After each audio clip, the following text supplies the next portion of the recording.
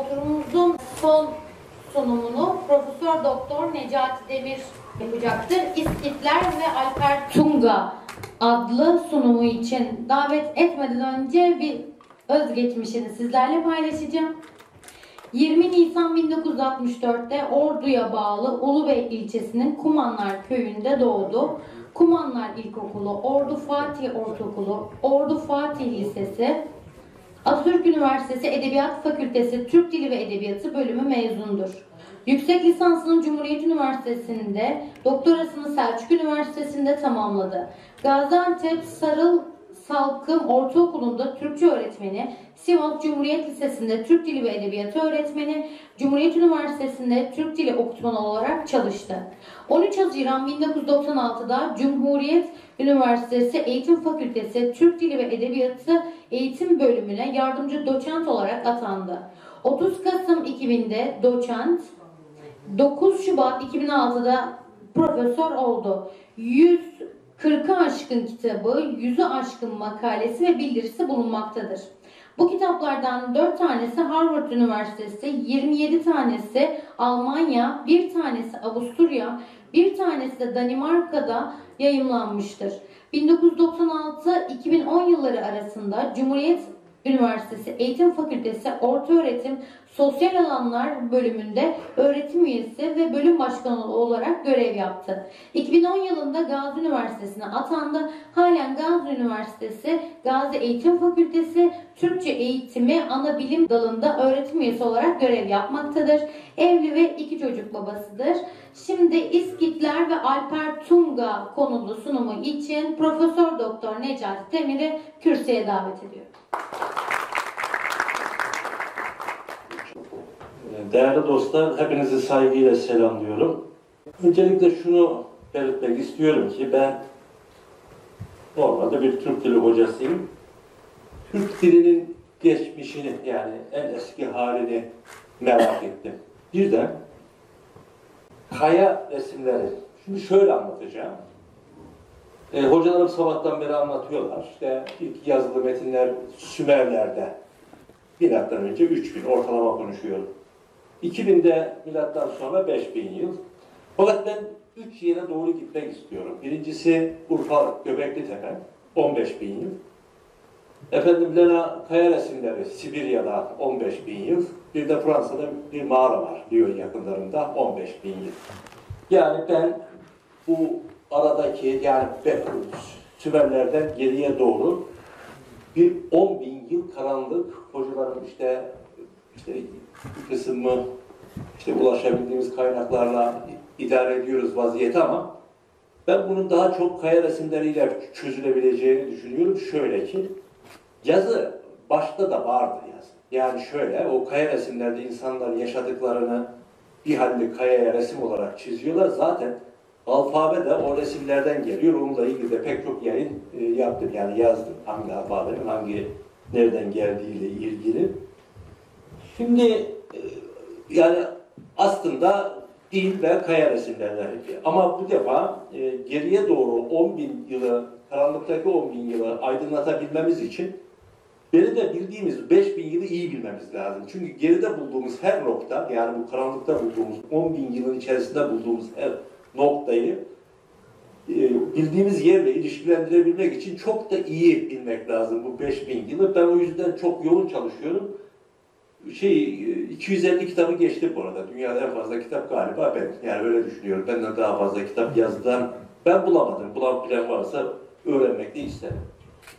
Şimdi devam ediyorum. Arkadaşlar biz şimdi işte ön Türklerle ilgili bir e, işte sempozyum yapıyoruz falan. Bizim değerimiz sıfır. Yani milletin gözünde bu, bu sıfır yani. Niye böyle? Yaptığımız her şeyde devlet desteğinin olması lazım. Yani bir şeyde gündeme gelebilmesi için, bir şeyde başarılı olunabilmesi için hep onu gördüm çünkü. Yani bilerek söylüyorum bunu. Siyasi desteğin olması lazım. Yani devlet politikası olması lazım bunun. Ama devlet politikası bizim Atatürk'ün öldüğü günden itibaren konu değişmiştir. Gemi raydan çıkmıştır. Yani bir şey, e, tren raydan çıkmıştır. Bizimle ilgili şey değil. Ama biz kendi halimize bu meseleyi çözeceğiz ya da çözmeye çalışacağız ama bilemiyorum sonuç ne olur ama siyasi destek kesinlikle olmalıydı. Bu arada başka şey söyleyeceğim arkadaşlar. Son yıllarda Kazakistan'da o kadar büyük şeyler, arkeolojik araştırmalar yapılmış ve arkeolojik kazılar yapılmış ki ben geçen sene boydan boya Kazakistan'ı taradım ve müzelerini de taradım. Dünya tarihini değiştirecek kadar Kazaklar, Kazak bilim adamları kazı yapmışlar ve müzelerine taşımışlar bunları ve çok şaşırdım. Mesela Altın Elbise Adam'dan bir tane biliyoruz ya bir. Şimdi o 11-12 tane olmuş. Bu arada kadınlar da işte kadın ne şeyleri de e, bu çıkmış. Yani peki 6-7 tane de ondan gördüm. Böylece bakıyorsunuz ki yani e, aslında medeniyeti işte bu hiç değilse giyim, kuşam falan açısından değerlendirdiğinizde bal gibi de Türklerden alıp şey yapmışlar, dünyaya yaymışlar öyle gibi görünüyor. Şimdi yine hocalarımın hepsine teşekkür ediyorum. Çok ilgilendik hakikaten. Çok e, verimli de oldu. Benim için de verimli oldu. Yani görmediğim şeyleri de görmüş olduk. Duymadığımız şeyleri duymuş olduk. Fakat ben işin artık İskitlerde, işin kilidinin İskitler olduğunu düşünüyorum. Niye? Hocalarım çok daha önceki tarihlerden bahsettikleri konular oldu. Yakın zamandan bahsettikleri oldu. Fakat aradaki kilit nokta öyle görünüyor ki İskitler. Yani biz İskitlere biraz daha hani Kazak bilim adamlarının yaptığı araştırmalar bilerek söyledik. İskitler konusunu bir kere yeniden gözden geçirmemiz gerekiyor. Yeni yeni e, buluntularla birlikte yeniden gözden geçirmemiz gerekiyor İskit meselesini. Çünkü çok farklı şeyler bulunmuş ve ben çok şaşırdım gerçekten. Yani fakat şöyle bir sorun var. Kazak bilim adamları bunları duyurabilecek durumda değiller. Yani dünyaya bu biz bunları bulduk arkadaşlar bu dünya tarihini değiştirebilecek falan filan gibi yani böyle bir iddia ile ortaya çıkacak gibi değiller. Ben vaktiyle bir 15 yıl önce Almanya'da gittim bir araştırma merkezi, enstitü kurdum ve oradan da bir dergi çıkarıyorum Türklerin Dünyası diye.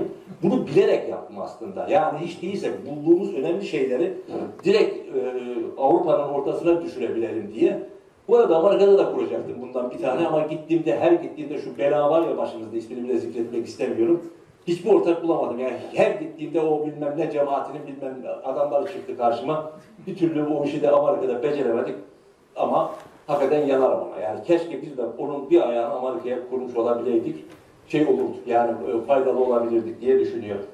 Şimdi ben Kazakları ve Alper Tunga'yı anlatacağım. Şey Kazaklar olur mu? Ee, İskitleri ve Alper Tunga'yı. Tabii İskitler öyle bir dünya ki yani benim anlatmamla falan filan bitecek bir iş değil de.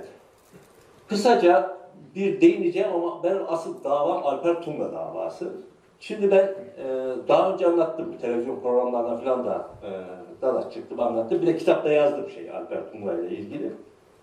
Şimdi işte yakından takip eden arkadaşlar bilir ben birkaç alanda birden yürümeye çalışıyorum. Bunlardan bir tanesi de Türk destanlarının tamamını yayınlama projesiydi.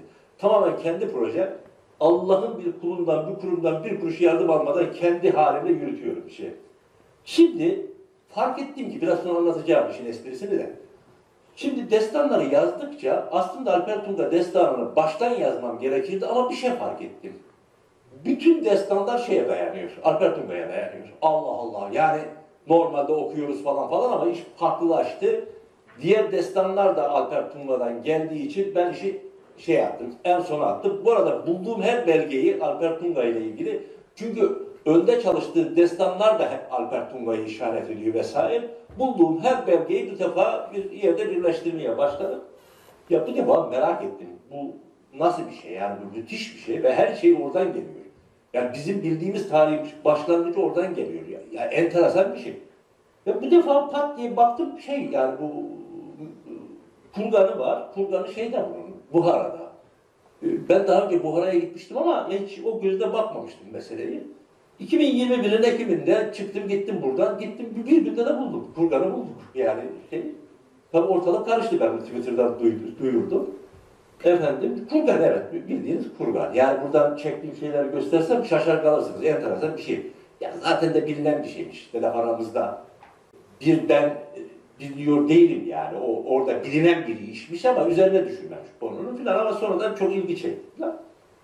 Sonra sanki ben olmayan bir şeyi varmış gibi efendim uyduruyormuşum gibi bir hava yarattı Türkiye'deki bazı bilim adamları ki hiç hoşuma gitmedi. Ben Türk'üm, Türk milletine yalan konuşmak diye bir tasarrufum olamaz.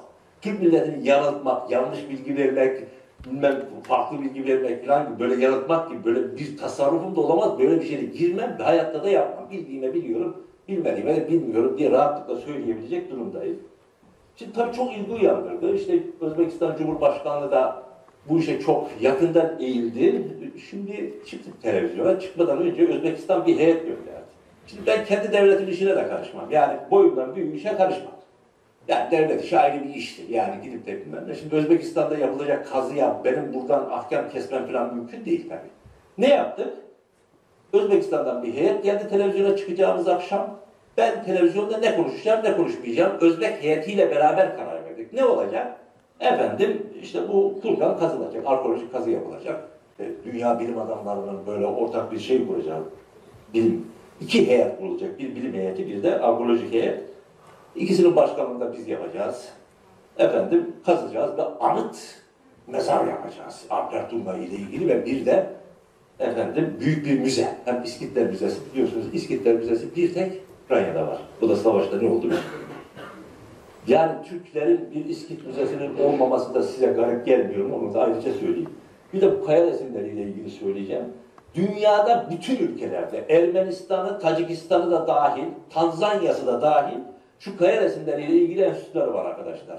Bir tek ülkede yok Türk şeyi bu e, kaya resimleriyle ilgili enstitü araştırma merkezi falan falan. O da Türkiye. Çok garip yani onunla ilgili araştırma şey nedir, merkezi açmak için bir 10 yıl önce Gazi Üniversitesi'ne önerge verildim. Reddedildik.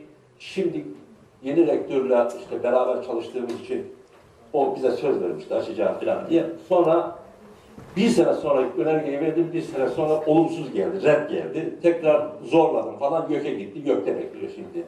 Bu arada kaya resimleriyle ilgili bütün her şeyi İranlılar dosyalamışlar. UNESCO'ya başvurmuşlar. Ee, kaya resimler, bizim damgalarımızı UNESCO'da efendim şey yapacaklar, kendi adlarına e, tescilletecekler. Biz de ondan sonra bakar dururuz, ağlar dururuz. Ne bileyim, bilemedim. Yani bu dedim ya bu siyasi destek olmadan bizim işimiz gerçekten zor. Şimdi bu Saka, isimleri falan bunlar şey e, bayağı karışık işler. Çince e, kaynaklarda geçiyor. Si, Siyahi, Su, Suse, Suse, Göçe yani Saka. Şey tarafı, doğu tarafı genellikle Saka diyor. Yani Farsçada da Saka. İskit, şey Yunanca tarafına geçince İskit oluyor ama bu e, Saka'yı e, Skit sondaki T eki arkadaşlar hep Moğolca diyorlar ya. Bu T eki çoğul eki arkadaşlar. Larler anlamına geliyor. Bununla ilgili bir makale yazdım ve Türk dilinin dergisinde yayınlandı bu. Moğolca falan değil. Sonradan Atatürk bununla ilgili bir sürü şey e, matematik terimi vermiş. Eşit, yaşıt, karşıt gibi mesela. O T bildiğiniz larler anlamına geliyor. Anadolu'da da böyle pek çok köy var. Benim köyümün adı Kumanlar Köyü. Bir başka yere bakıyorsunuz Kumanik Köyü falan. O Karadeniz'de vardı. Baktım o T eki bildiğiniz şey larler anlamına geliyor. Yani o İskit'teki T şey çokluk eki bildiğiniz çokluk eki. Moğolca falan da değil Türkçe ek. Ondan sonra bunlar sikit falan yani sakalar, sakayık belki öyle söylediler. Bu şekilde söyleyemeyince başına bir iyi getirdiler ve İskit oldu o. Azur kaynaklarında Askuzai, İdil kaynaklarında Sakas, yani S onunla belli ki çoklu ekiyle. İşte işin Türkçesi Sakalar veya İskitler, doğu tarafı bu sözcüğün etimolojisini yapacağım ayrıca. Yani bu, bu bunu bir halledeceğim. O, o da üzerine çalışıyorum. Yani ya İskitler diyeceğiz ya Sakalar ama ikisi de aynı. Bu arada şunu söylemek istiyorum arkadaşlar. Ben cesur adamım ayrıca. Çünkü çok çalıştığım için farkındayım ne yaptığımı. Bir kere yok İranlıların Tur dediği Türktür arkadaşlar. Yani bunu korkarak söylüyor bizim bilim adamları ya. Yok. Türk Türktür arkadaşlar. Bu Herodot'un Targita dediği de Türktür. Efendim Tevrat'taki de bilmem ne dedikleri de Türktür. Trakya'nın adı da Türklerden gelir. Efendim hocam söyledi Ekrem Memiş bu Türkler onlar da Türktür. Türkiye'ler de Türktür. Efendim e, bunlar hepsi Türk. Şimdi so söylüyorlar yani işte Trakya Türk dersem şu olur bu olur falan diye. Türk. Arkadaşlar kurulan bütün devletler Türk devletidir. Türkçe konuşanlar. Ama Osman Bey kurdu, Osmanlı oldu. Efendim e, Selçuk Bey kurdu, Selçuklu oldu. Ama devlet Türk devletidir. Hiç şey yok yani. Bunun korkacak, korkacak bir yanı yok. İskitler de öyle bir. Bal gibi Türk bunda. Yani istedikleri kadar işte Avrupalılar şöyle böyle desinler falan ayrı bir konu. Ama Türk devletidir ve adı İskit'tir. Belli ki bir şey var, onu bulacağız. Şimdi bununla ilgili en önemli ha, bu milattan önce 2000'lere kadar gidiyor. Şimdi hocalarımın karşısında biraz benim bu laflar etmem biraz şey ama sıkıntı ama cesur olacağım. Ne yapalım? Ee, az bildiğimiz yeri sonra söylerler bana. Milattan önce 2000 yıllarına kadar gidiyor ancak onlarla ilgili belgeler bütün Türk tarihi içinde öyle. En son Oğuz Yabu devletini yazdım. 776'da devlet kuruluyor, 1042'de yıkılıyor, 266 yıllık devlet tek belge yok. 30 sa- satır yazı da yok hakkında, bilgi yok, yok yani. Biz, bizde de öyle bir sıkıntı var. Ya da varsa bile bizim bu Otrar'da dünyanın ikinci kütüphanesi varken bir sırayla yağmalıyor. Bir Araplar yağmalamış, bir Moğollar yağmalamış. Ondan sonra işte bulamıyorsunuz kaynak. Şimdi kaynaklar son derece yetersiz. Milattan önce 8. yüzyıldan itibaren ah işte biraz biraz bilgiler şey oluyor. Çoğalmaya başlıyor. Bu İskitlerin sakaları biraz önce de söylediğim gibi dili, kültürü, sanatı, gelenek ve görenekleri, yaşayış tarzları, toplumun yapısı ile her haliyle Türk milletinin bir parçası olduğu açık. Ancak özellikle batılı bilim adamları bilim ciddiyetinden uzak bir şekilde onları bazen Fars, hep kafalarında estikleri biçimde bazen de Rus milletinin bir parçası yapıyorlar. Atış serbest. Bir de bunlar bizden önce bu modern tarihçiliği kurdukları için e, bir çerçeve yani tarihi bir, çerçeve yapmışlar. Yani bu kamptan çıkarmıyorsunuz. Çıktığınız an delisiniz. Yani bu deli diyorlar filan. Fazla laf ettiniz mi filan. Önce bizim bilim adamları başlıyor size eleştirmeye falan falan. Ee, sıkıntı çıkmaya başlıyor yani. Bu Batılılar bu işi bizden önce halletmişler. Şimdi İskitlerin en önemli kaynağı Herodot tarihi tabii. Şimdi Her Herodot'un Karadeniz kıyılarında koloniler oluşturuyorlar. İskitler Karadeniz kenarlarına gelince Herodot onları kolayca haber almaya başlıyor. Yazar e, öteki halklar başlığı ile sık sık İskitlerden bahsediyor. Ayrıca çok sayıda arkeolojik kazı yapılmış bu konuyla ilgili o taraflarda. Hepsini takip ettim ama. İskitler ile ilgili binlerce eşya çıktı arkadaşlar. Bu arada ben geçen haftalarda da gittim Almanya'da ne kadar bu konuyla ilgili yayın varsa hepsini topladım. Kısmı Hitler yasaklamış bunlar falan filan ama bu bizdeki nadir kitap gibi şeyleri vardı onların. E, onların da bir piyasaları var. Oralardan topladım. Hepsini getirdim. Yani şey yok. Bir tane bile eksik bırakmadım. Hepsini buldum diye. Şimdi bakacağız. İskitler milattan önce 12. yüzyıldan itibaren Hazar Denizi ile Tanrı Dağları arasında geniş bir coğrafyada idiler. Saka kelimesi Farsça göçebe anlamında falan filan ama dediğim gibi ben hiç kimseye inanmıyorum. Bu kelimenin etimolojisini size bir sonrakinde anlatacağım.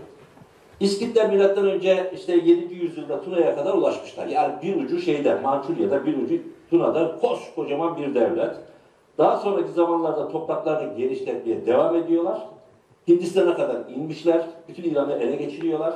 Böylece Orta Asya'nın büyük bir bölümüne hakimiyet kuruyorlar ve bir imparatorluk durumuna geliyorlar. Şimdi bunların İranlı Miranlı devesi Batılıları şundan kaynaklanıyor. Evet İran'ı da almış sakalar. Bu sefer nereden sondaj atarsa oradan. Mesela şimdi Londra'da şey vardır. Çin mahallesi. 2000 yıl sonra işte yıkılsa oralar falan filan arkeolojik kazı yapılsa o Çin mahallesine denk gelse yapılan kazı şimdi İngilizler Çin mi diyeceğiz yani. Yani konu bu. Bu kadar şey yani.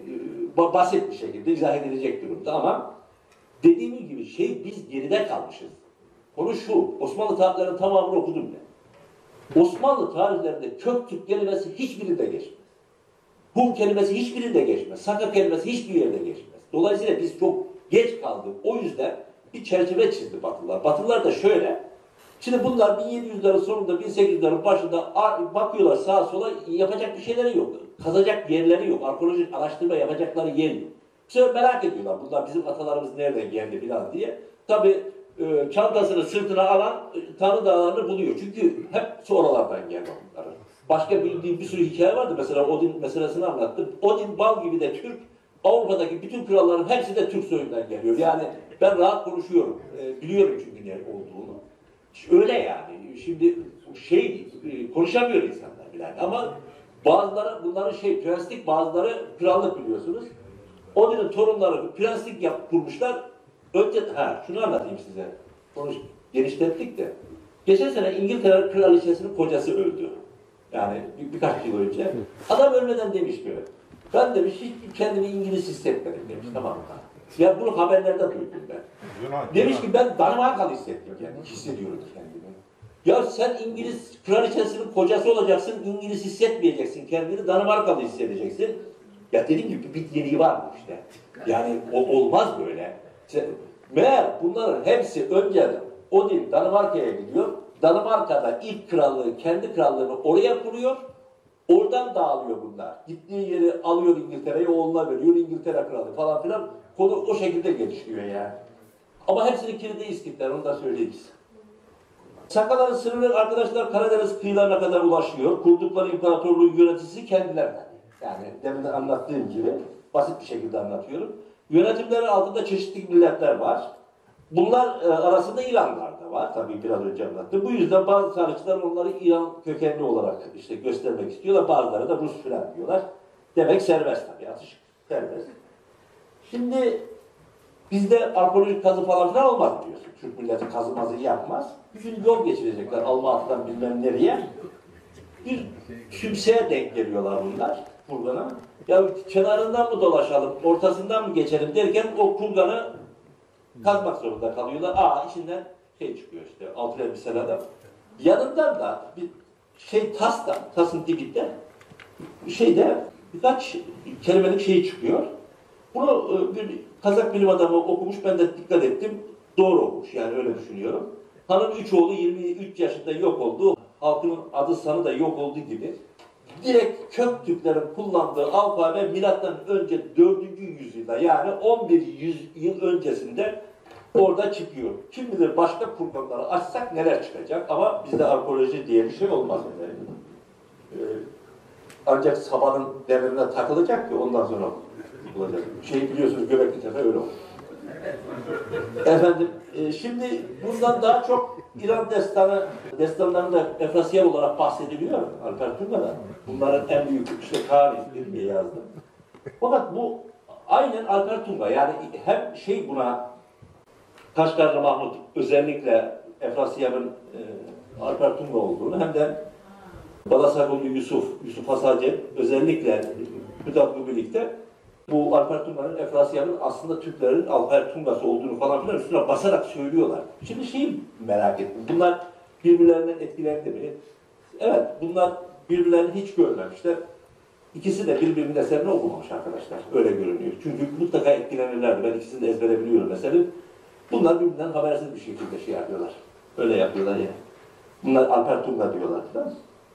Sonra şimdi tarihçilerin verdiği bilgiler, insanların fiziki tipleri, Yunan tarihçilerin verdiği bilgiler, yaşanılan hayat tarzları, biraz önce anlattığım kü- kültür durumu, giyim kuşamları dikkate aldığında İskitler tıpkı arkadaşlar Hunlar, Göktürkler gibi bir Türk milletinin parçası.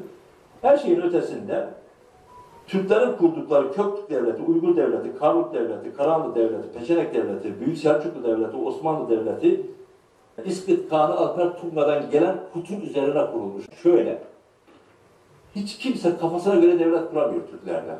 Tanrı kut vermesi lazım. Kut, Tanrı'nın insanları yönetmek üzere verdiği yetki. Kut odur şeyde. Gök Tanrı'nın yani işte, e, işte gök Tanrı inancına göre babadan oğula geçiyor.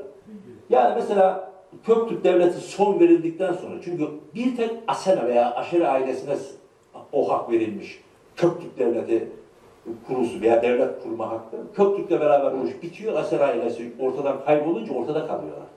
Derhal Karahanlı Devleti'ni kuruyorlar. Karahanlı Devleti'ni şunun üzerine kuruyorlar.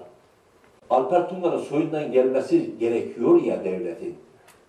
Şey, Alper Tunga'nın Karahan diye bir oğlu var. Onun üzerinden kuruyorlar devleti. Ar- Karahanlılar. Karahanlılarla ilgili yazılan bütün kitaplara bakın. ilk 10 sayfası ya bunlar Karluklu'da nereden çıktı Karahanlı falan filan diye onu tartışıyorlar. Çözememişler. Alper Tunga'nın Karahan adlı bir oğlu var. O Karahan'ın üzerinden işte Alper Tunga'ya dayanmak istiyorlar. Onun üzerine de arkadaşlar mesela Oğuz Yapı Devleti de kurulurken Karahan'ın üzerine kuruluyor. Hatırlayın Oğuz Kağan'ın babasının adı Karahan. İşte bu Müslüman olanları falan filan çö- kesiyor, asıyor falan. En son babasını işte savaşıyorlar falan. Savaşta bir okta babası ölüyor. Ölen adamın adı Karahan. Aynı Karahan. Alper Tunga'nın oğlundan bahsediyor. Yani oradan getiriyorlar devleti. Şimdi Şecere-i Terakkime'de çıktı. Selçuklu Devleti de öyle. Yani Alper Tunga'nın diyor oğlu diyor, bir oğlu diyor, adını söylemiyor ama. Keymers beni öldürmesin diye kaçtı kar şeye, Selçuklu'yu kuran boyun adı neydi? Kırık, kırıkların arasına giriyor, orada evleniyor. Diyor ki Selçuklu ailesi oradan geliyor diyor. Gelelim Osmanlı'ya. Osmanlı nasıl kurdu o devleti? Osmanlı Timur'la Yıldırım Beyaz mektuplaşıyorlar. Bu savaştan önce, meşhur savaştan, Ankara Savaşı'ndan önce. Timur yazmış ki, ya siz kimsiniz de devlet kuruyorsunuz? Ee, siz aynen şöyle yazmış. Türkmen kayıkçıların çırağıyken nasıl oldu da siz devlet kurdunuz? Size kim dedi devlet kurdu lan diye bu tip şeyler var. Çünkü Alper Tunga'dan gelmiyor Ertuğrul Gazi. Kendisi de gelmiyor biliyor. O yüzden kendisine şey demiyor. Padişah Sultan falan demiyor. Emir Timur biliyor. Şimdi neyse Ankara Savaşı'nda yeniyor Osmanlı'yı. Darmadağın ediyor falan filan. Tekrar toparlanırken Fatih Sultan Mehmet'in babası 2. Murat Şükrullah'a para veriyor. Tarihçi Şükrullah'a benim dedem Ertuğrul'u Süleyman Şah'a bağla diyor. Halbuki hiç alakası yok. Çünkü devlet kurabilme, meşruiyeti yani tanınırlık kazanabilmesi için Süleyman Şah diye bir adamı dede yapıyorlar. Hiç alakası yok. Süleyman Şah'ın kutu var ama. Yani demin anlattım. Köymers'in oğlu Köyvers beni öldürmesin diye kaçan oğlunun biri kırıklara saklanıyor ve Selçuklularda o kut var. Sonra diyeceksiniz ki Atatürk Türkiye Cumhuriyeti'ne nasıl kurdu? Madem bu şekilde gidiyordu. Şimdi Atatürk ne yapmış biliyor musun? Atatürk bunların hepsini biliyor. Savaş çadırında arkadaşlar e, bu Cumhurbaşkanlığı forsu var ya 16 yıldız. O kendisi savaş çadırında onu şey kendisi yapmış. İzmir'e girerken artık savaş kazanıldı ve demek ki aklında vardı bir devlet kurmak. Meşruiyetini, devletin meşruiyetini sağlayabilmek için 16 tane Alper Tunga'dan kut almış devleti köşeye yıldız olarak yapıp ortasına da güneşi koyuyor. Biz on yani babadan oğula geçme değil. 16 tane devletin devamıyız diye Türkiye Cumhuriyeti'ni o şekilde kuruyor. Atatürk ama işte. Yani şey direkt 16 tane devlet Atatürk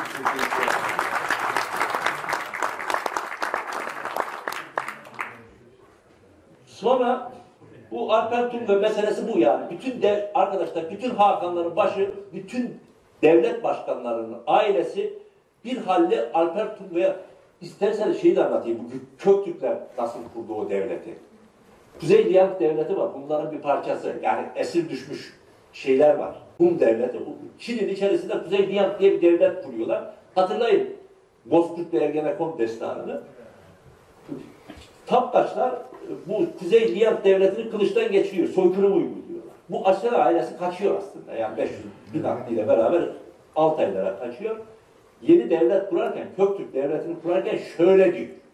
Kut alacak ya diye. Yani o Alper Tunga'dan gelen kutu sağlayabilmesi lazım. Asen ailesinin resmi olarak devlet kurabilmesi için. Hatırlayın Bozkurt destanını. Kuzey Liyank devletinde herkes ölüyor. Sadece Kaan'ın Hakan'ın 14 yaşındaki bir çocuğu kalıyor. Onun da kolunu bacağını kesiyorlar, atıyorlar falan filan. Oradan kutu alarak biz onların çocuklarıyız diyerek yeniden Köktürk devletini kurabiliyorlar. Onlar da kutu o şekilde. Yani Türk devletlerinin tamamında hepsini çıkarttım ben. Tamamı ona çok dikkat ediyor ve Alper Tunga'dan geldiğini ispat ettikten sonra devlet kurabiliyor. Tabi bu Timur filan hariç. Timur'un biliyorsunuz ben emirim diyor. Sultan filan değil, Hakan da değil. Öyle yani. Şimdi İskitler geri dönüyorum. İşte milattan önce 7. yüzyılda Alper Tunga zamanında gücünün zirvesine çıkıyorlar. Bu Alper Tunga'nın en büyük özelliği arkadaşlar çağ açıp çağ kapatması. Fatih Sultan Mehmet gibi bu demir madenini şeyde kullanıyor. Savaş e, sanatında yani nedir? Savaşta demiri kullanmayı ilk o başlıyor. Dikkat ettiyseniz bu herkesin şeyi var. E, kalkanı falan var.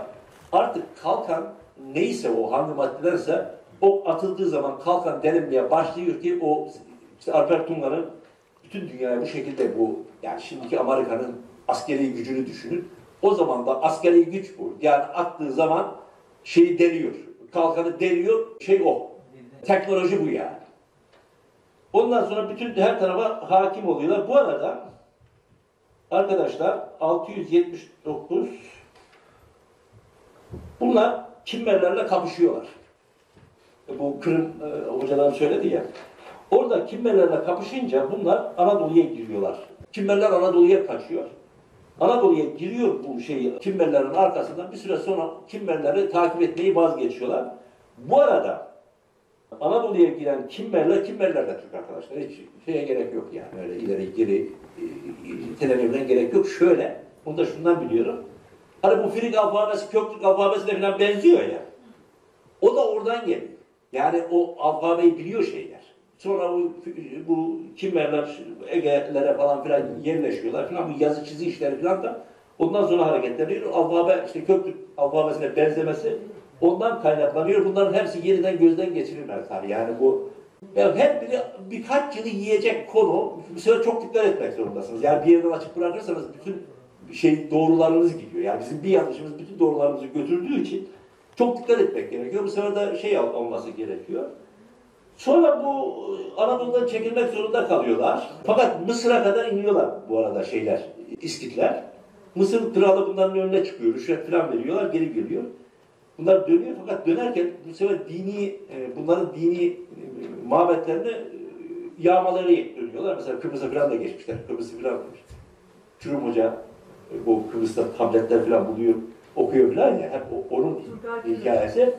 O, onlar o geri dönerken şeye de Kıbrıs'a da geçmişler. Kıbrıs'ta darmadağın ediyorlar falan. Tabii bunlar daha sonra dayanamıyorlar. Geri gitmek zorunda kalıyorlar. Çünkü şeyler de bu e, Asurlar falan şey diyorlar bunlara.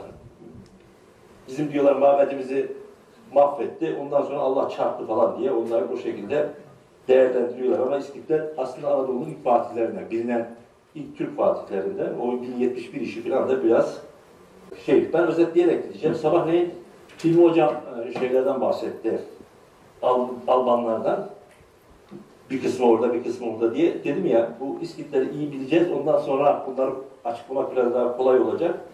Albanlar da yine İskitlerin bir boyunun adı arkadaşlar. Mesela Akari diye bir boyları var bunların. Hakkari ismi oradan geliyor.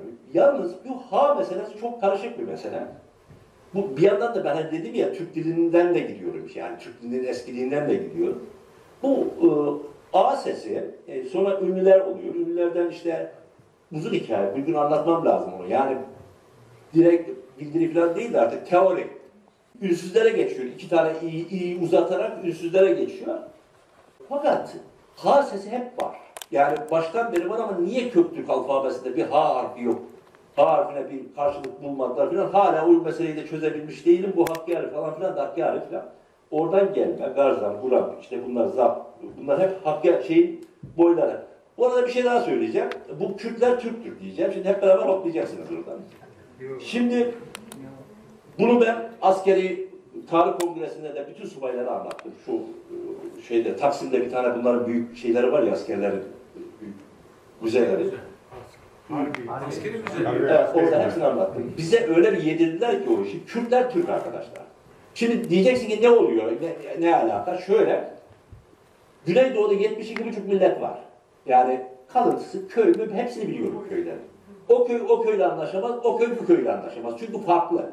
Bizans'tan kalma var, Ermeni'den kalma var, Fars'tan kalma var, Sümer'den kalma var, Kutlu'dan kalma, hepsinden var şimdi tamam mı? Bunlar hiçbir birbiriyle anlaşamazlar.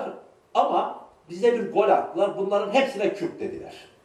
Ve hepsine Kürtçe deyince şimdi onların belki 61 bir şey, 71 buçuğu e, Türk değil ama Kürtler Türk.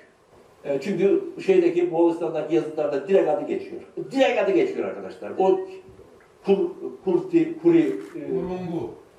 Sonundaki T2 de yine çoklu bekliyor. Demin anlattığım e, şu- e, yani kur, kurit Kürt sözcüğü oradan geliyor. Bunu kurt falan dediler de hiç doğru değil. O sondaki T2 de yine kurlar anlamında, kürler anlamında e, şey e, o anlama geliyor.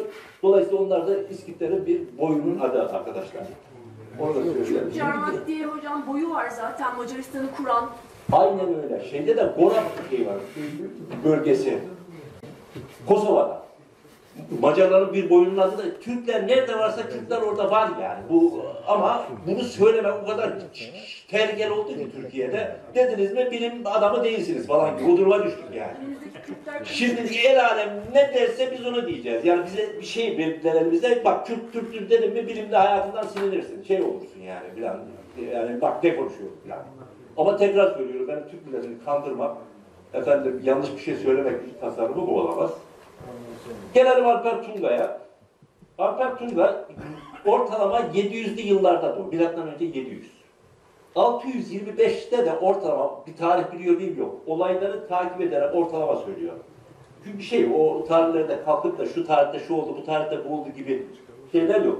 Dünyanın gelişmesinin tamamına bakarak e, diyorum ki yaklaşık milattan önce 700'de doğmuş 625'te de İran'da yapılan İranlarla yapılan bir savaşta ölüyor.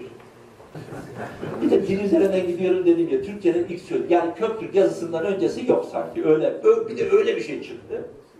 Şimdi şeyleri biriktiriyor. Yani bu kaynaklara veya kitabelere, metinlere, uluslararası metinlere, bizim olmayan kitabelere falan hangi sözcük geçiyor Köktürk yazıtlarından önce? Mesela art sözcüğü geçiyor, efendim e, er sözcüğü geçiyor, tung sözcüğü geçiyor. Ben bu arada bir de şey e, Uluhan Atabiti diye bir kitap yazdım. Köktürk yazıtlarından yaklaşık 200 yıl önce kalem alınmış bir Türkçe kitap. Bu önce Farsça'ya daha sonra Arapça'ya çevriliyor falan. Mısır'da ortaya çıkıyor. Mısır'da da hep Devedari diye bir Türkçe türkü bunu özetlemiş. Yani ben özetini bulabildim. Arapçadan çevirdim falan. Orada da bu kelimelerin bazıları geçiyor. Yani Köktürk yazıtlarından 200 yıl önce yazılmış bir kitabımız da var bizim yani. Onu da yayınladım. İnternette yok iyi bir şey yapayım. Bu arada İskitlerle ilgili bir şey söyleyecektim size. Ee, arkadaşlarım birisi Afrika'ya kadar gitti de. Ee, şimdi Ankara Cumhuriyet'in 100. yılı adına Ankara Ansiklopedisi çıkarılıyormuş. Ankara adının etimolojisini de ben yazdım. Ansiklopediye ilk madde olarak. Şimdi arkadaşlar Ankara. Sayın Bakan bizden daha iyi bilecek de Şimdi Ankara'ya, bir de çay var Ankara çayı. Yani ırmağın. Aynısı Baykal Gölü'nün üst tarafında bir Ankara ismi daha var. Ankara şehri. Sibirya'da Ankara. Şimdi Ankara, Ankara, şey, o e, şey, Ankara, aynen Ankara ırmağı var, aynen çiftlik geçisiyle meşhur orası da. Aşağı iniyoruz, şeyde, Taşkent'te yakın iki tane köy var. Ankara ve Ankara. İkisi de yan yana. İlginç. Arada Nepal mi var Hindistan'ın arkasında? Orada var 5-6 tane Ankara. Hindistan'da var 5-6 Ankara. Slovenya'da, İtalya'nın sınırındaki Slovenya mı? Orada İtalya'ya yakın Letonya'da var. İngiltere'de var arkadaşlar Ankara. İspanya'da var. Bask. Slovanya'da var An- Ankara. Sadece sonundaki neye fazla? Ondan sonra İtalya'da o zincirde 3-4 tane daha var arka arkaya. Siz olmayan yerleri söyleyin hocam. Fransa'da var. 3-4 tane. Arkadaşlar Amerika'da da var. Ankara. Aynen Ankara. Ee, sonra sonra. Fransa'da olduğunu söyledik. Bu e, Ardahan'ın Posof ilçesinin bilmem, Artvin'in bilmem ne köyü falan filan değiştirmişler. Bir sürü Ankara köyü var şuralarda da. Afrika'yı söyledik, Peru'yu söyledik.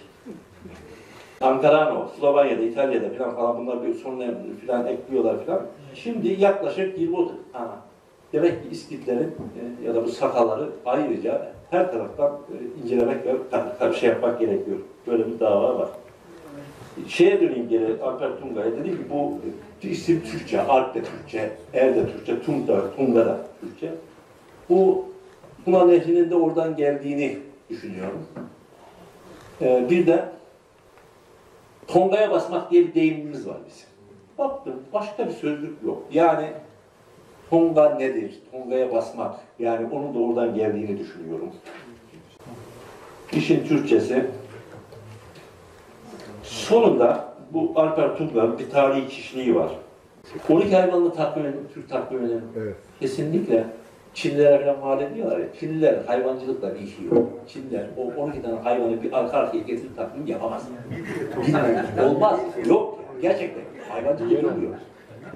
Şimdi Çin'e mal ediyor. Ha kağıt da mesela öyle. Kağıt Çinlilere mal ediliyor. Ya kağıt 751 e, bildiğiniz Arap ve Çin savaşında Talas'ta yapılan savaşta Uygurları esir alıyor. Araplar bunların kağıt yaptığını öğreniyorlar. Bunları götürüp şeyde Semerkant'ta kağıt fabrikası kuruyorlar ve Araplar bunlara kağıt ürettiriyorlar. İlk kağıt fabrikası Semerkant'ta kuruluyor 751'den sonra. Ya başka bir bilgi varsa ya ben de merak ediyorum. Yani ulaşabildiğim benim bu. Acaba diyorum bilmediğim bir şey mi var? Yani çok da dikkat ediyorum. Bütün bela zaten o Talasırma Savaşı'ndan başladı. Türkler Müslüman. Oradan yani o ayrı bir konu ama kağıdı oradan sonra Avrupalıların kağıdı görmesi 1250'den sonra arkadaşlar. Yazma falan değil. Kağıdı görmesi 1250'lerden sonra. Hediye paketi yapmışlar. Yani e, o denli şey farklı ama e, dediğim gibi ama tenkitli tarih bizden önce öğrendikleri için e, biz bu işte geç kaldık.